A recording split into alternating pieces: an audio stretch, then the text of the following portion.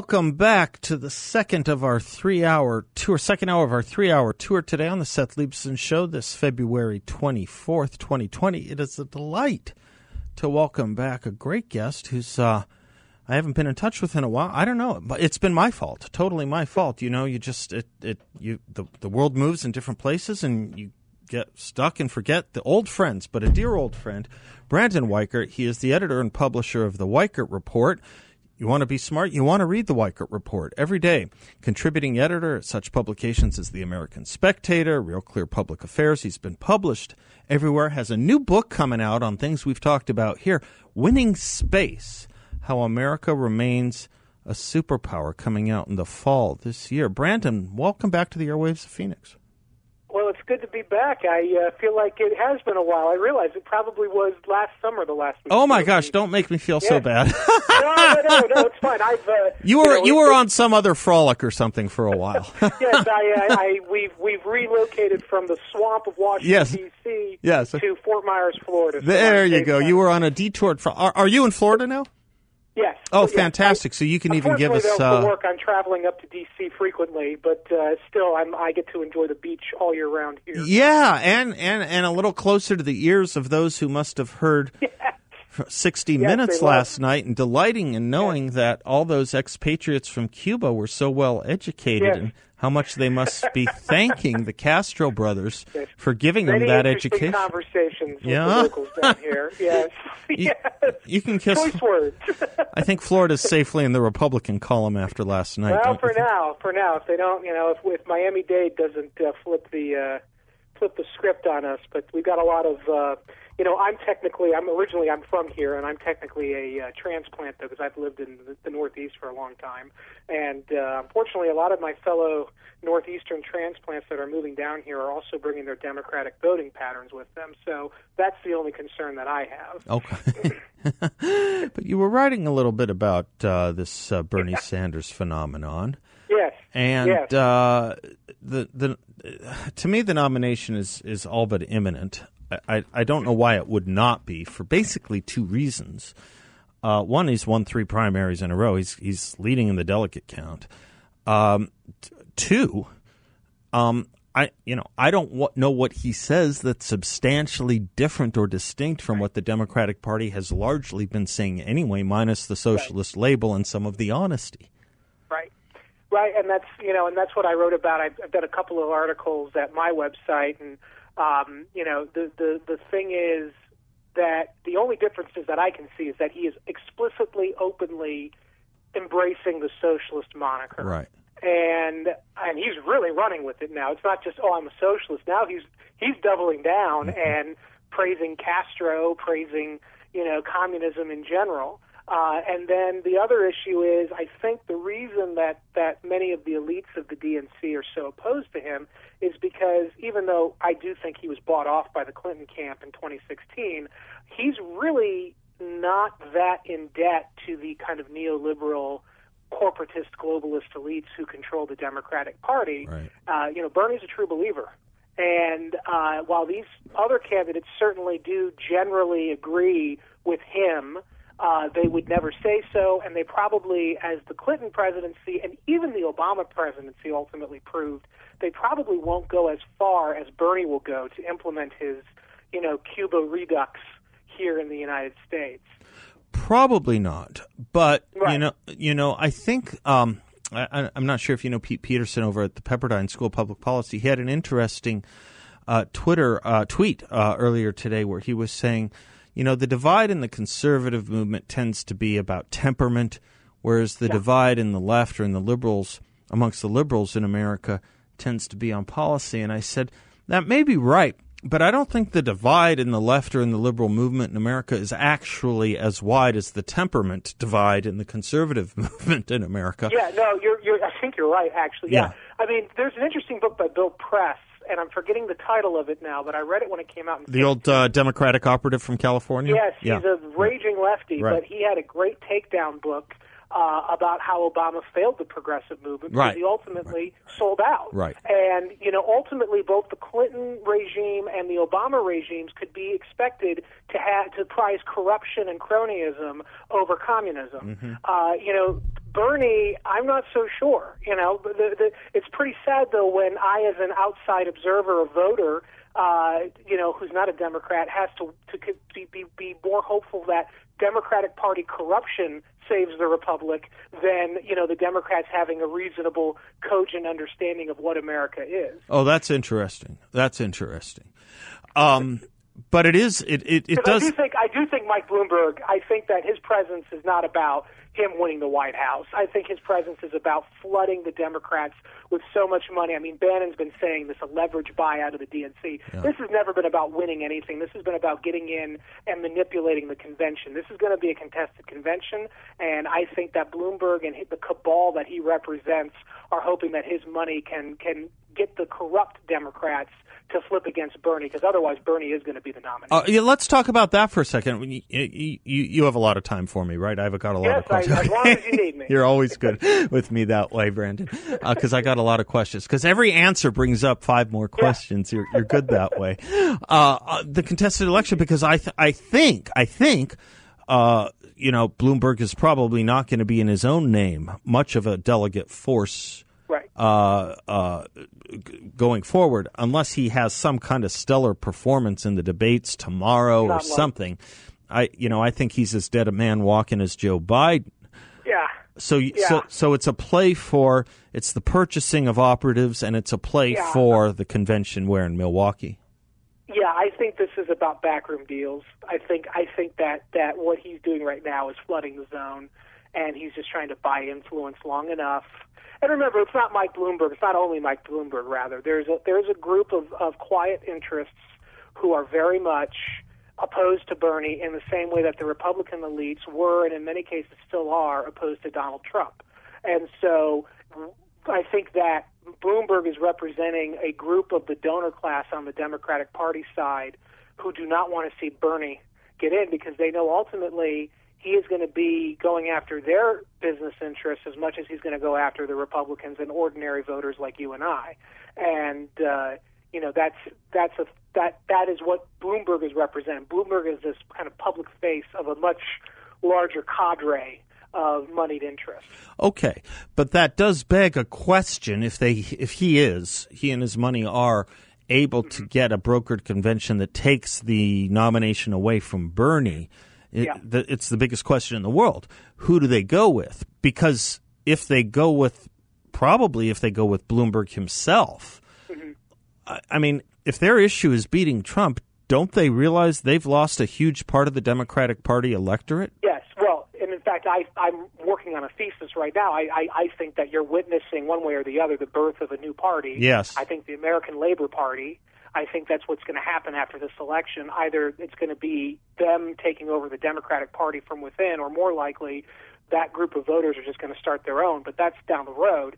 Um, and with Bloomberg, I, I really do. I, I really think that the kind of this neoliberal elite would rather lose the 2020 election and go through another four years of Trump rather than see Bernie get the nomination and completely take the Democratic Party away from them in a new, different direction. The Republican Party is already moving away from sort of this kind of globalist, corporatist yeah. consensus. Yeah. But the Democratic Party goes, then they're in big trouble. See, I'm with you. I've been saying we may be you know? witnessing the end of the Democratic Party, but my gosh, oh, yeah. is it fraught with tripwires? because if they scary. do go with Bloomberg or someone like him and lose, um, then then you've given the talking point to Bernie and his AOC cadre. Right. Right? Right. Well, she'll she'll. I mean, AOC is going to eventually be the nominee when she's you know old enough.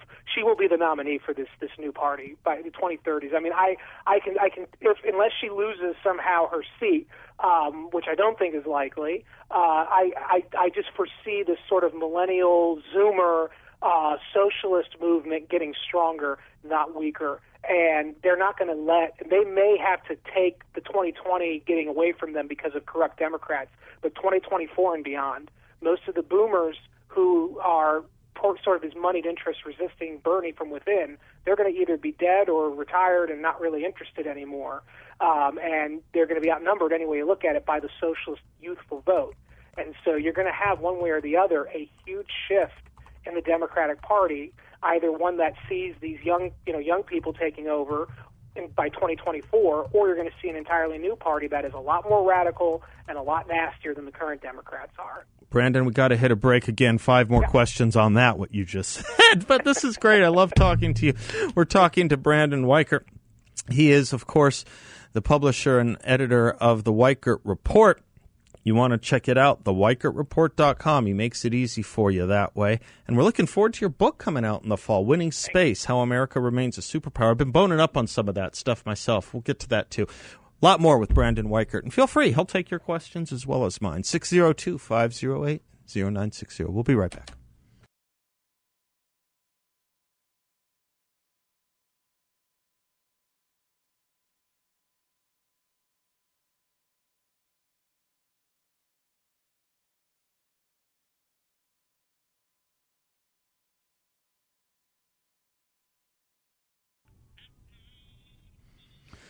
In honor of Brandon Weichert's having moved to Florida, we're playing him a little little Jimmy Buffett.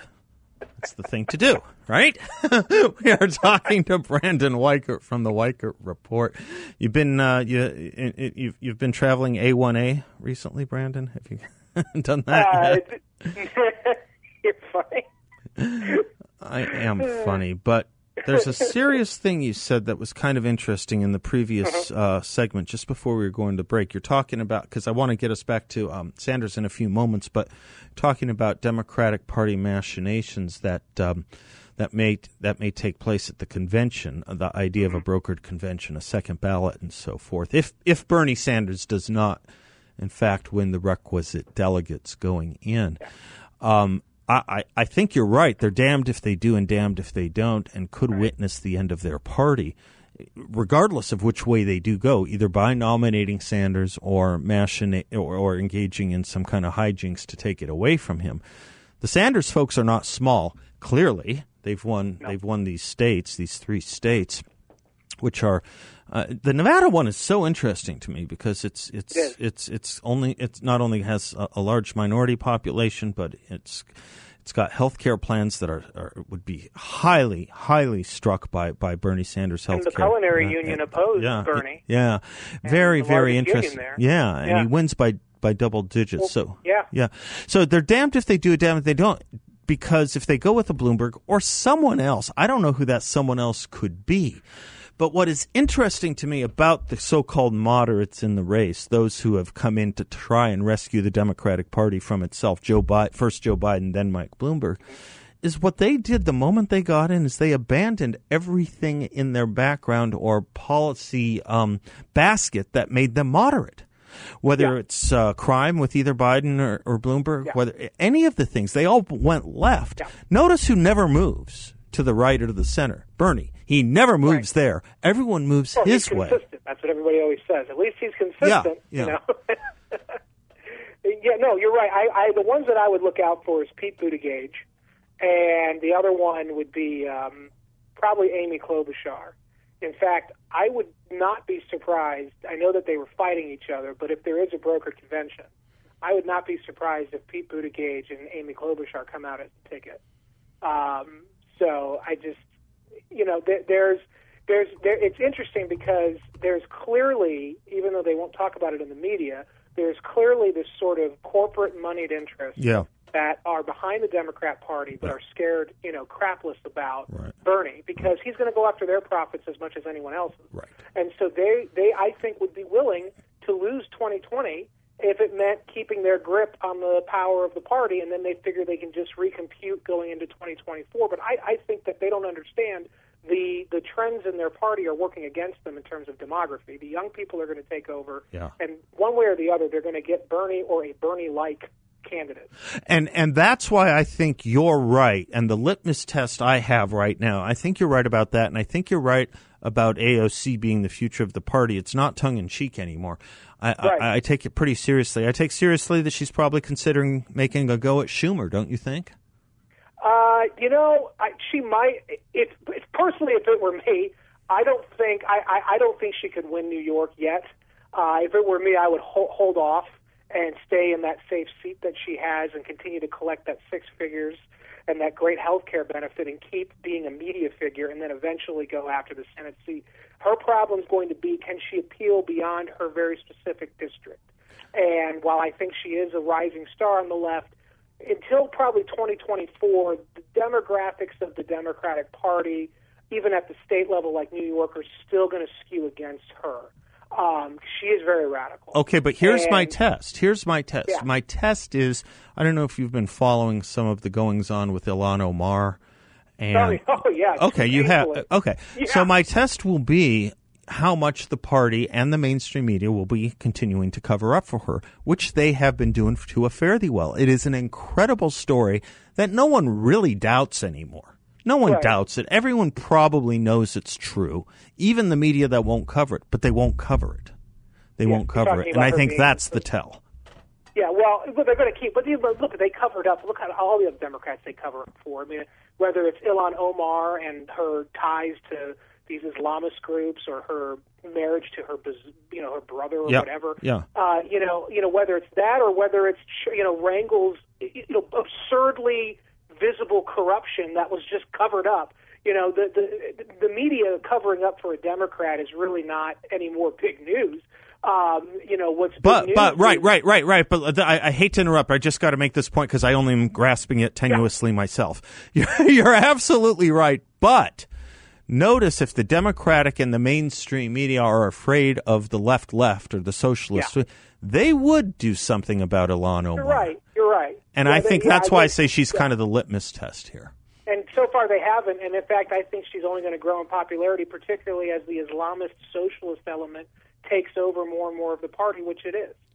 It, yeah, I yes. think yeah, I see what you're saying. I think you're probably right. Yeah, I yeah. That's why I think uh, her- their reaction to her is the acid test for what you're saying. Yeah. And- Well, and how they how they fare in South Carolina at the primary is going to be key because there's a lot of money being thrown in to stop Bernie. That's sort of the Waterloo. If they can stop Bernie there, they bloodied him, and uh, then then it stands a better chance that someone like Buttigieg or a more quote unquote moderate, acceptable figure will uh, at least have a chance to knock Bernie off. But if Bernie can win like he did in Nevada Yeah. and New Hampshire Yeah. and South Carolina, then they, they, I don't know what they're going to be able to do to stop him. well, something's going on because Yeah, a lot of money's being thrown. yeah, no, a lot of money. But the funny thing, the funny thing is, a lot of money not necessarily aiming at him as aiming at Biden, right? A lot of Steyer money. Yeah. So there's a real Yeah, weird fight. think it's because they're trying to narrow. I think they're trying to narrow the field as well. Yeah. I mean, Biden is clearly out, which is hilarious because about a year and a half ago, I thought for sure, as the last vice president under under the last quote unquote successful Democrat, that he would be playing a lot better. But clearly, clearly, he is not. he's just he's the Biden of 1980s, not the Biden that ran under Obama. So he's clearly incompetent um, as a campaigner. So you know, I, that's I think they're trying to push him out because he's probably sucking away the money that should be going to someone like a Buttigieg or a Bloomberg or a Klobuchar who could probably He's sucking the money, right? He's sucking the money from Buttigieg, and he's sucking the votes Right. from Bloomberg. Right, right. That's right. I think That's right. that I think that's That's exactly right. It's funny. Bloomberg just doesn't care about donations. he really doesn't. it's- this is I love his play. You know, brashness about this- it. I wrote this at my website too. This is not about him winning the White House. It's not even about him winning the convention. This is about him manipulating things so that he can, behind closed doors, get a brokered convention that goes away from Bernie and toward his candidate of choice, which incidentally will probably be the Clintons' candidate of choice as well. It's just incredible what they think they can lecture us to about democratic principles. just incredible. All right, I got more. I want to go back to Bernie and Cuba when we come back. Can we Yeah. do a little more on that? You had a great piece last uh, last week on this. I, I read as well. We're talking to Brandon Weichert, of course, of the Great Weichert Report. You can get it yourself. Gosh, you've got a lot of great stuff on coronavirus too. The WeichertReport.com. Brandon Weichert is, of course, a great foreign policy expert and uh, author of an upcoming book, which will be great reading, Winning Space How America Remains a Superpower, which we need to talk about as well. I'm Seth Leibsohn. We'll be right back. Welcome back to the Seth Leibsohn Show. Delighted to have with us foreign policy expert and publisher of the Weichert Report, Brandon Weichert, W E I C H E R T. It's a report you can access gratis on the website, on his website. Uh, Brandon, uh, let me go back, if I might, to Bernie and his interview yesterday, and really the implications of a Bernie Sanders candidacy generally. Yeah. Um, the country is, well, some of the country maybe, let's hope, some of the country is dusting off its readings of socialism and trying to remember what it was that we tried to forget and did a pretty good job of, actually. Yeah. Uh, and we're trying to go back and, and, and, and get a good education on it. And when you listen to Bernie, it really helps because he reminds you of all those things from the 70s and 80s that uh, that the communist countries around the world were saying about the West and the United States in particular um, at places like the United Nations and in other international uh, associations. Racism was the first thing off their tongues, tripping off their tongues in the 70s and 80s. So this is all ringing yep. very familiar. The way Bernie talks about Israel and America as being racist. The Marxists, racism was the only reason capitalism could exist. But his defense of Cuba uh, last night. You know, I said earlier, I think before I had you on, I said it's just it's his his his answer on Cuba to Anderson Cooper was as bad as Mike Bloomberg's answer on um, you know on, on uh, yeah on, on on on DNAs and sex abuse in the Bloomberg organization. You would have thought he could do better than Mussolini made the trains run on time. Well, that's the thing is he really believes it. He really but, believes it. You, so for my website, I and the reason I didn't submit this to AG or, or or the Spectator or any of them is because it was too long of an article. I knew, and I you can't really cut out because I basically did a deep dive on Bernie's 40 years of love for socialism, specifically Castro's Cuba. You have to understand, in in a 1988 lecture at some university in the Midwest, Bernie was part of a panel and his opening was to regale students at the time with a story of his, quote, political awakening. When he was at his university as an undergrad, he said he never really thought much about politics, but he happened to be sitting there and there happened to be a TV on in the quad when he was studying, and it was the Kennedy Nixon debate from 1960. And he said what, which, what shook him was the fact that the supposedly liberal candidate JFK was basically out, according to him, outright winging the Republican candidate Nixon at the time for who could take out Castro faster. And it offended him, he said. And it, he said because Castro was a people's revolution, and the, and Castro was fighting for his people, whereas the Americans were fighting for the corporations. And what he would say today are the millionaires and the billionaires. Ironically, of course, he's one of those millionaires now. Um, but but but that is for decades been the kind of the origins of Bernie Sanders' political thought. And that has been the framing point or his reference point for all of his subsequent political beliefs is that Castro good, America, both parties bad. Yeah. And that is very scary uh, in a you know in a, in a in a potential president of this country.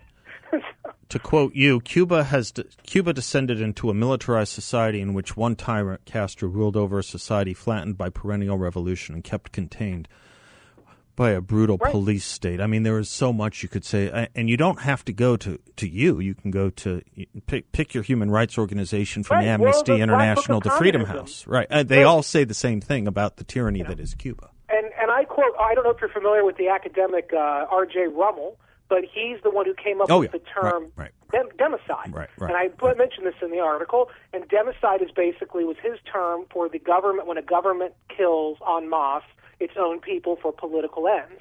And uh, he went back and basically, the thing we know about Castro and the Soviet Union is they learned from the Nazis. Don't take meticulous records of your atrocities. That way you can't be tried later by history or another country if you lose. Right. And so Castro's regime has been very good about keeping things as ambiguous as possible with their atrocities. But Rummel went back and basically came up with a, with a data set in the 1980s. This is back in the 80s mm-hmm. now and he identified by 1987 that at least between 73 to 141,000 Cubans had been killed by the regime. Yeah. Uh, I mean, and then you think about the island. It's a small country with a relatively small population, and over the course of that, at that time, from what 1960 to or 1958 to 1987, anywhere from 74,000 to 100 plus thousand people are murdered by the regime. That's frightful. It's incredible. I mean, never, huge... never mind. Never mind the yeah. imprisoned, incarcerated. Never That's mind right. those who fled with eh, with anything they could for their lives. I want to t- talk a little bit more about that, and then if you want, we can say a word about your upcoming book too. If you can stay with me one more I'd segment. love to. I would be very. I know my publisher would be happy to. Well, I'm have to put me in. We'll cut out the middleman. I'll just talk to your publisher. I'm talking to Brandon Weichert, the Weichert Report dot com is his website. We'll be right back. Welcome back to the Seth Leibsohn Show. Brandon Weichert has been generous with his time uh, this afternoon with us. The Weichert Report is his website. Foreign policy expert, uh, expat from the congressional halls of Washington, D.C., and author of an upcoming book I want to talk about in a moment Yeah. called yeah we'll get to that in just a sec winning space how america Perfect. remains a superpower congrats on that that's well that's Thank really you. well done you bet i want to Six years in the making. yeah, I, I, bet. got there. I bet. I bet. And, and and and it's such a neat. Well, let's just get into it. It's such a neat area. I'm sure you can have some natural sequels, right? Oh yeah, well yeah, I'm working on a couple of yeah, I, I'm working on the follow up already. Um, obviously, we have to see how the first book's going to do, but I'm I'm I'm anticipating that it's a timely enough book that it's that we're going to do okay, and it's it's going to allow me to keep exploring these high tech kind of unorthodox national security issues uh, that cuts across you know kind of the, the areas we wouldn't expect. For instance, you know high tech in general but specifically, we often think of space as well, it's a place where we send astronauts to do scientific experiments, and it's kind of where the world comes together to work together. And of course, we, we know that that's not the case, and we know that um, space is not only militarized, but it's soon to be weaponized. Yeah. And uh, if we don't get there first, uh, and if we don't recognize that we have competitors, namely China, Russia, even North Korea, and Iran, uh, we're going to lose our, our top dog status in space, and, and that's going to be a huge strategic problem for us in the other domains that we operate in land, sea, air, cyber.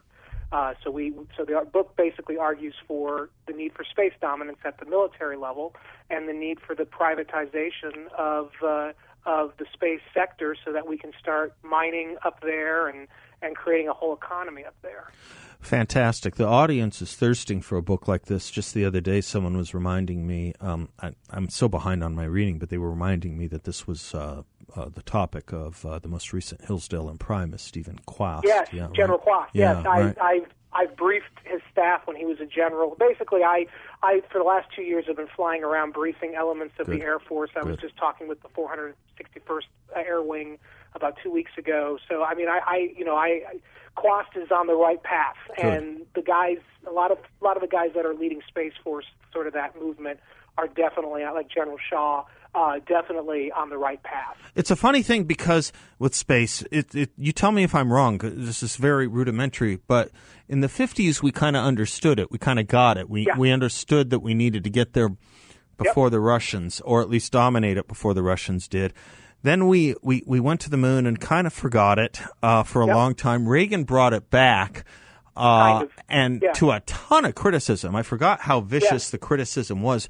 Turns out how right he was, at least my, Yeah, he by was my ahead of his time. Yeah, He was ahead of his. I mean, if, if, any, if anything, the problem with Reagan was that uh, the technology for, for instance, Strategic Defense Initiative, which was our attempt to put space-based lasers in orbit to knock out any potential Soviet nuclear missiles that could be launched at us.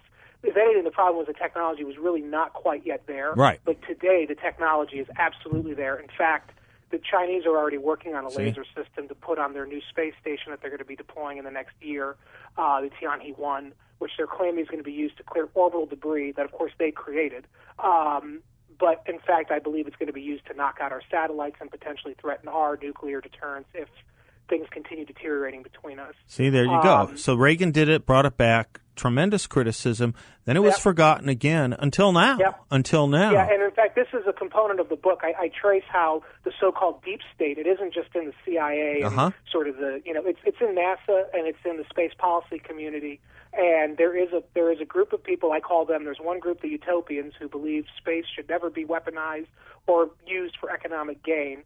Uh, and then the other group are the naysayers, who tend to be scientists, but they're kind of technicians, and they they really don't they don't have that sort of artistic view of of how space can really be exploited for national gain.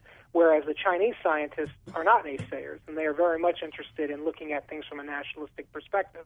And um, I kind of trace how that sort of deep state mentality has basically stunted and stymied uh, every attempt over the last 40 years to take a more militarized and nationalistic view of space. Good, because And, I think uh, the the fundamental problem with that first objection is the fundamental problem with almost every objection in in, in, in, in, in weapons policy. I guess maybe even environmental policy.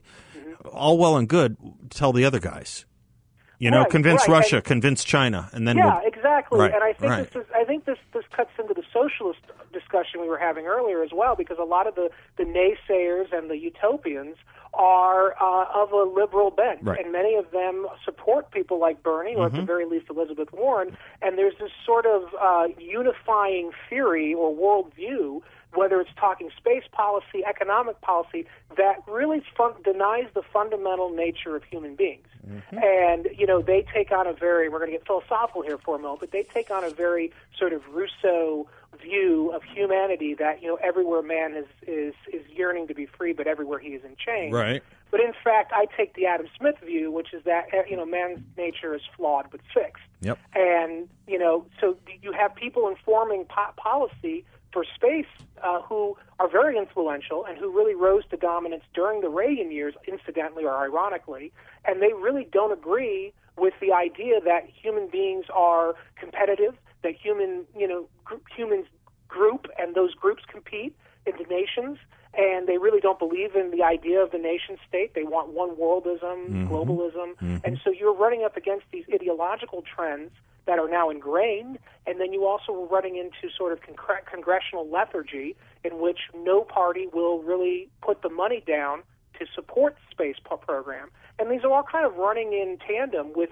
other similar trends going on throughout the wider society, whether we're talking about Bernie Sanders' rise, we're talking about, you know, the rise of, of this belief of the modern monetary theory. You know, you have these very sort of big ideas being bandied about, and they're completely detached from human nature, and that's a problem.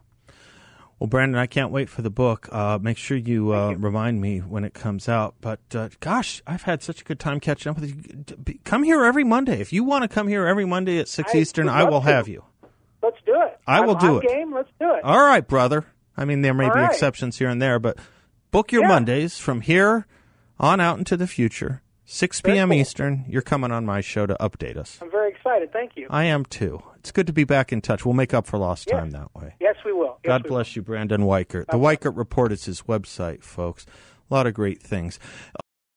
Seth Leibsohn Show. James, listener James, wrote uh, wrote me a fun email, a smart email, in response to a point that you brought up with Brandon Weichert that you have. Wouldn't it be in- that you have on the show now? Wouldn't it be interesting if there was a news story published? about the lack of news coming from the left leaning media and their blatant omissions. Instead of having an article about Trump, Bernie Sanders, or Mike Bloomberg, someone should post an in depth expose on MSM anchors like Don Lemon, Chris Cuomo, and Brian Stelter, and they're refusing to report news about, say, Ilhan Omar, Rashida Tlaib, or the Virginia legislature. James makes a good point. It's not trite at all. It's a really good point because to get that, to get that kind of news, you have to kind of aggregate it yourself. There's no one doing it definitively in one place. Powerline does a really good job of taking on the media. They're the smartest out there. They do a really good job, and they've of course been leading the leading the uh, leading the evidence on Ilhan Omar. But between that and some different, perhaps talk radio shows you may cobble together, and a few other blogs you may read here and there, it's it's absolutely right because Dean Baquet, who's the editor of the New York Times, put out a tweet recently on um, not reporting news when we have stories we don't report. He said that too is a political decision it's feeding right into what Dennis has long said, which is the bias in media is sometimes what they say, it's more often what they don't. It's more often what they don't say. And um, and I just want to repeat that. What we decide not to report is a political decision too. You bet it is. You bet it is. So they did report that someone at the NSC said that John Bolton criticized the president on the Ukraine issue. Though they didn't have any direct quotes and they didn't tell us who that someone was, they just attributed it to John Bolton, kind of hearsay. They reported that to a fairly well, became a huge part of the impeachment hearings. John Bolton, at a conference with uh, Susan Rice from the Obama administration last week says, in my opinion, the impeachment was a partisan hit job, and my testimony wouldn't have made one bit of difference or changed one vote. The New York Times doesn't report that. That's bias in the first degree and in the first instance, and it's bias in the second degree and in the second instance. Yeah, someone ought to do a story on it. But, you know, who turns themselves into the cops? Very few. I'm Seth. We'll be right back. 602 508 0960. A lot more to come.